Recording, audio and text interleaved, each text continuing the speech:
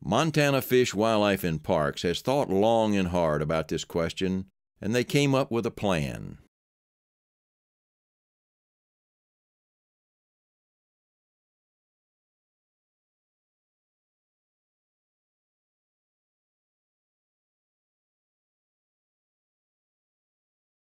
In 2009, Montana Fish, Wildlife, and Parks developed the new web based Crucial Areas Planning System called CAPS to identify crucial areas and corridors for a larger conservation effort that recognizes the importance of landscape scale management of fish and wildlife species and habitats.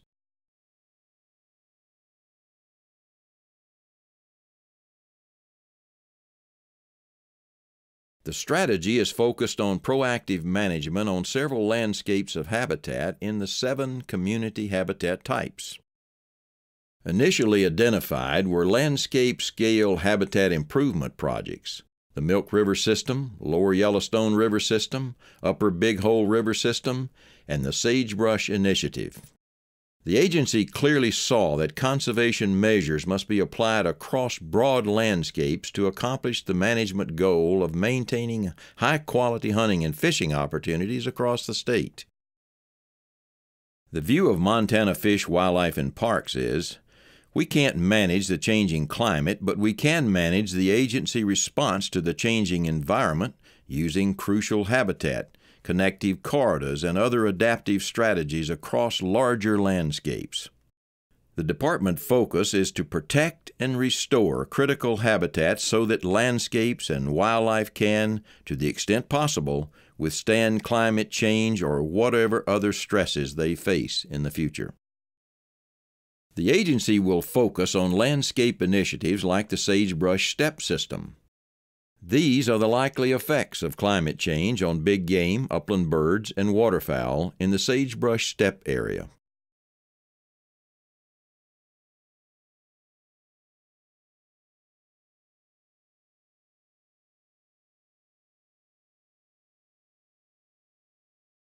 Management of the sagebrush steppe system will require that we all work together with public and private landowners to address the issues on the ground. Montana Fish, Wildlife, and Parks will also work cooperatively with private landowners to employ proven conservation programs funded by the 2008 Farm Bill and will place heavy emphasis on protecting and maintaining crucial habitat and migration corridors for numerous harvestable species as shown in the black circle on this graphic.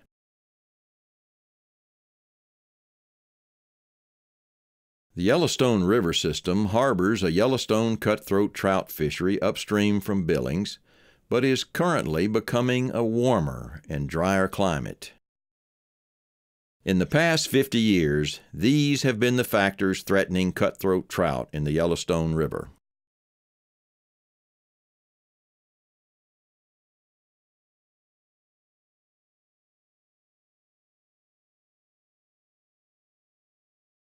The Yellowstone River System strategy would safeguard genetically pure Yellowstone cutthroat trout by protecting their strongholds in headwater tributaries, construction of temporary high elevation water storage to augment downstream flows in the summer, reestablishing stream connectivity to allow fish to disperse in mid elevation downstream reaches, removal of fish passage barriers, and restoration of riparian areas, wet meadows, and wetlands in lower elevation downstream reaches, while maintaining the prime coldwater fishing opportunities the river is justly famous for.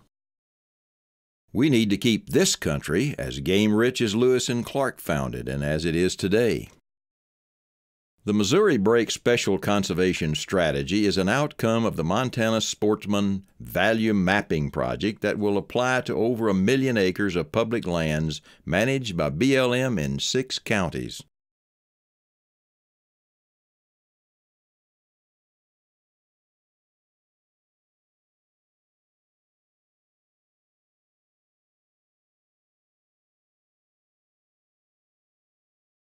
This graphic shows the strategy boundary encompassing the largest concentration of high value bread and butter hunting lands in Montana. as well as the largest contiguous block of highest value habitat for terrestrial species of concern in the Montana Comprehensive Conservation Strategy. Montana Fish, Wildlife, and Parks also has moved ahead with monitoring and conservation plans in preparation for landscape scale habitat efforts in the northwest part of the state. This plan was completed in January 2010 to enhance species monitoring and inventory for species impacted by climate change in four habitat focus areas in northwestern Montana and calls for a higher level of coordination and partnerships with other agencies, tribes, non government organizations, citizen scientists, and volunteers. The Northwest Plan will develop wildlife habitat management recommendations for land uses such as subdivisions and timber sales, and provide the public with accurate information relative to northwestern species like these vulnerable to impacts from climate change. Most sportsmen pay homage to President Theodore Roosevelt because he had the courage and the foresight to push a strong conservation agenda to restore depleted fish and wildlife against a political tide, giving us the rich fish and wildlife heritage sportsmen cherish to this day.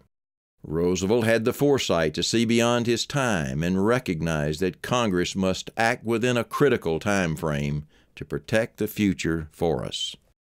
He once said, Nine tenths of wisdom consist of being wise in time. Well, for the sake of our children and grandchildren, it's time. While no one has all the answers to climate change, we all know we're dealing with a rapidly changing world. And we must step up to do the conservation work needed today to ensure the future not only for hunting and fishing, but for our very quality of life. At the end of this year's hunting season, perhaps in our final campfire with our hunting partners, maybe we can agree on this. Action on climate is justified not because the science is certain, but precisely because it is not. Thank you.